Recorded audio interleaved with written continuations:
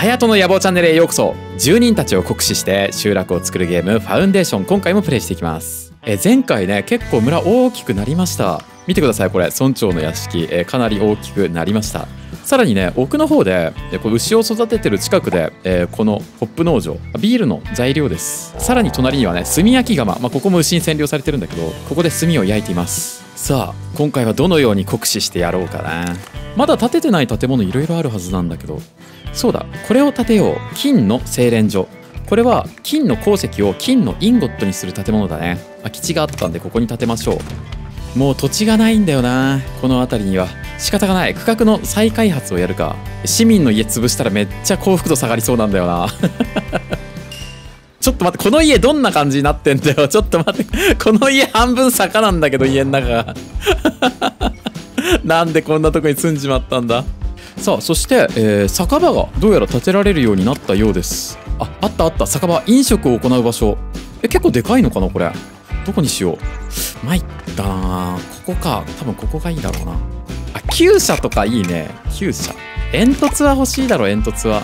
すごくそれっぽくなったぞ。あと宿屋の看板。これはいるだろう。必須だよ。何でもかんでもくっつけてしまうか。はい。そして大理石を見つけました。あめちゃ近い。素晴らしい。よしじゃあ今度は大理石を掘ってみようか。まずちょっと周辺の木が邪魔なんでこの辺に伐採所を立てて。大理石があれば噴水とか作れるようになるんで、まあ、噴水なんているかっていう話なんだけど。はい。大理石の採掘場の建設を開始しました。もう本当に何でもできるようになってきたな。さあ訪問者が来ました。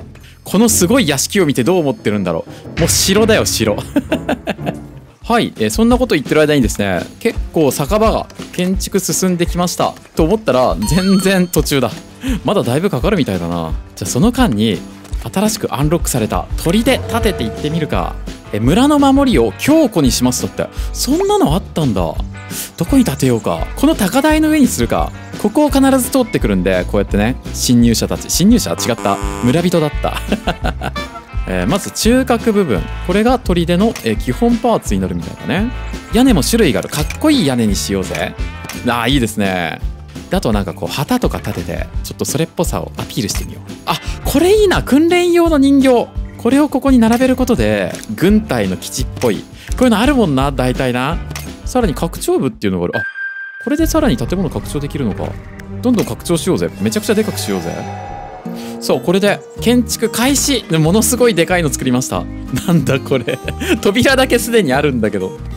これもワンゴペで建てるのかな。これもう無理だと思うけど。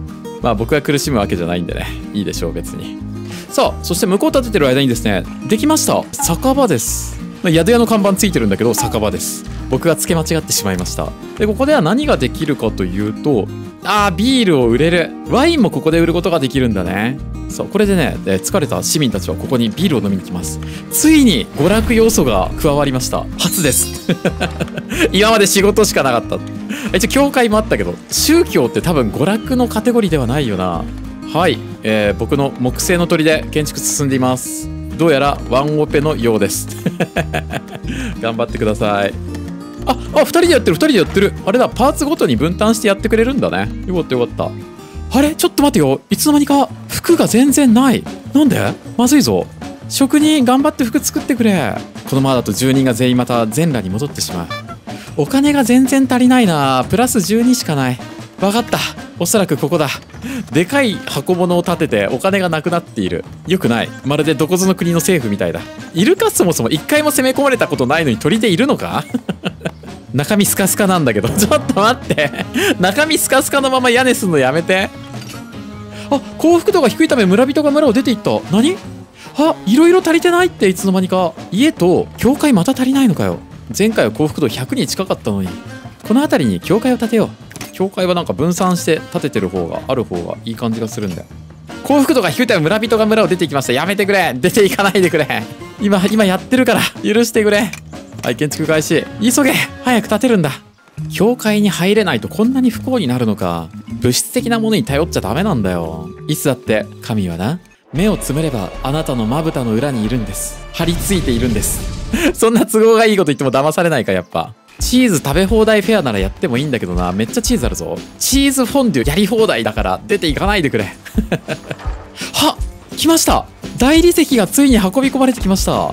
いいよな。1階のロビーが大理石で覆われてるような超高級マンションに1回住んでみたいな。はい追加のパン屋を建てました。すっごい虫がつきそうなところにパンが置いてあります。気になるな。多分もうカパカパのカチカチなんだろうなきっとな。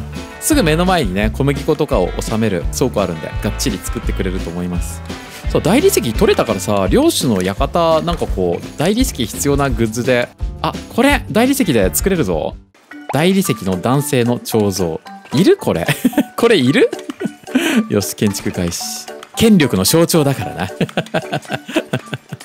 いやそれにしてもうわやばい！全体幸福度50まで落ちてる。やべえ！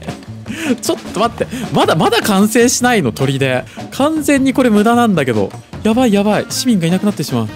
さあもうちょいだぞ。頑張れ！幸福度46まで下がりました。このままでは砦が完成した瞬間に砦の兵士が僕のこの村長の館に押し入ってきてクーデターが発生してしまいそうです。恐ろしすぎる。うわー村人がまた村を出て行っている。お前か？誰だ？ドイツだ出て行ったのは。お前か？お前か？こいつか？違った。建築だった。なんだろうその関所を設けて出て行こうとしたら閉じ込めておきたい。壁を張って村を出て行こうとしたやつをここに収容して一生大理石を掘らせたい。許しちゃダメだよな抜け人を。明らかに周りに何もない隠れ里だからね。里の掟だよ里の掟。抜け人は殺せ。働かせるんだ。許してはいけない。あついに完成した。はい。やっと長く長くかかって砦が完成しました。維持費がやばいんだけど 維持費すごい額なんだけどちょっと待ってやりすぎたぞこれ。あ訓練してる訓練してる。素手かよ。武器武器とかねえの。ちょっとろくでもないな。軍隊管理ってあるぞ。STR0 攻撃力みたいな項目あるんだけど武器も作れってこと？これ。なんか始まったな。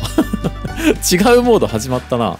はい丘の上の境界がもうすぐ立ちそうです。さらにここにえっ、ー、と井戸とかも置いて。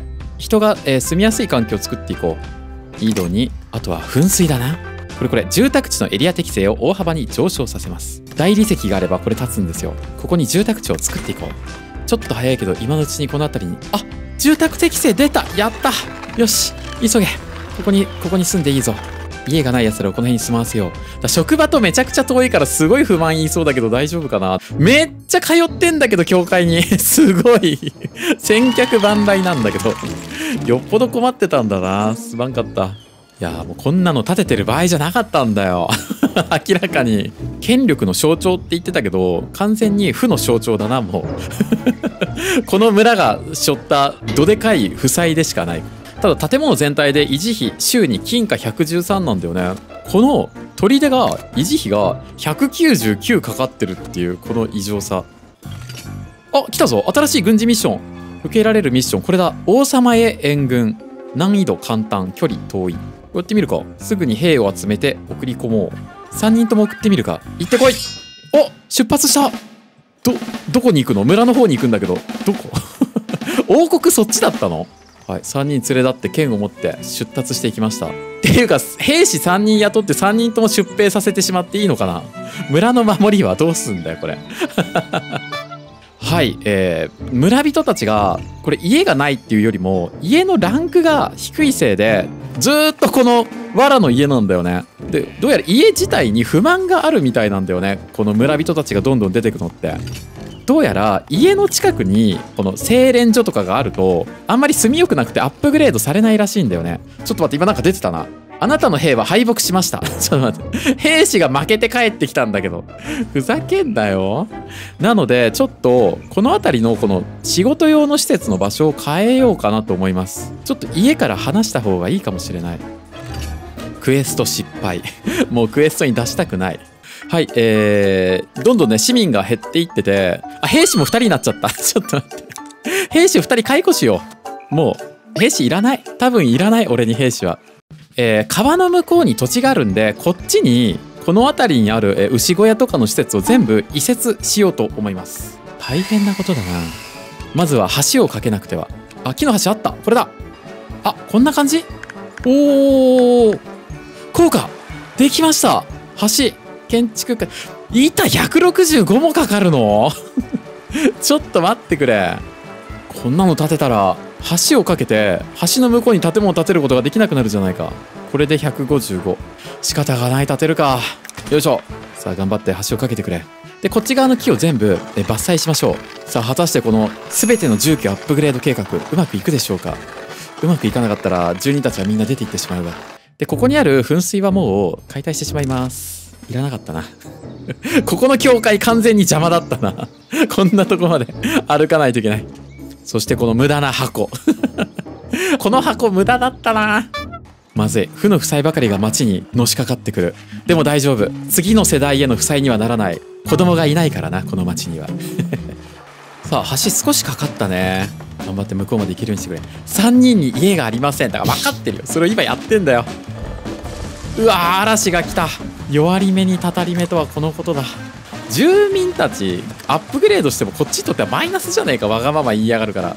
はいそして雨天になり赤字になってしまいました。やばい。今回で150人ぐらい行くと思ってたのに。人口横ばい94人です。はいというわけで集落を発展させるゲームファウンデーション。うわー2人出てったまた。えー、次回はね、え、この住人たちの幸福度を解決するためにこの辺りの、え、施設をですね川向こうに置くことでまた幸せな村作っていこうと思います。というわけで今回ここまでご視聴ありがとうございました。良ければ高評価チャンネル登録よろしくお願いします。